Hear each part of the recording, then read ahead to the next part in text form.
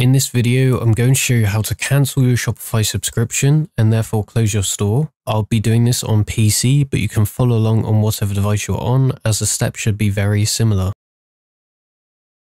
So first things first, come to your Shopify dashboard like this. Next, there are three steps that you need to do before closing your store. First thing is to go to your apps, which you can do by going down to the bottom left of your screen to settings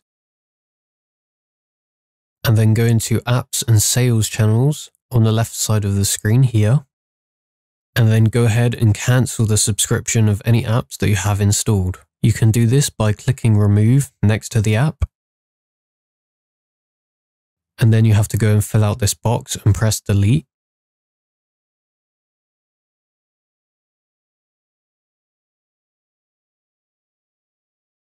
And the app subscription will be stopped and deleted. For the next step, go down to domains on the left side, just underneath apps and sales channels.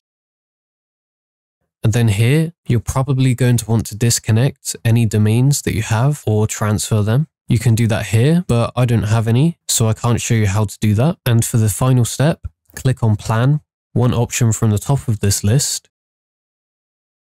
And as you can see here, it says deactivate trial for me because I'm on the trial. But if you're on a paid plan, it should also say close store. You want to click on that and then it will ask you a reason why you want to close your store and then ask for your password to confirm the last step and then it should cancel your subscription and close your store. I'm not going to do that because I don't want to close my store, but that's how you cancel your Shopify subscription. If this video helped you out, please like the video and consider subscribing for more tutorials just like this one. And if you have any further questions, leave them down below in the comments and I'm sure I can help you out. Anyway, I'll see you next time. Bye bye.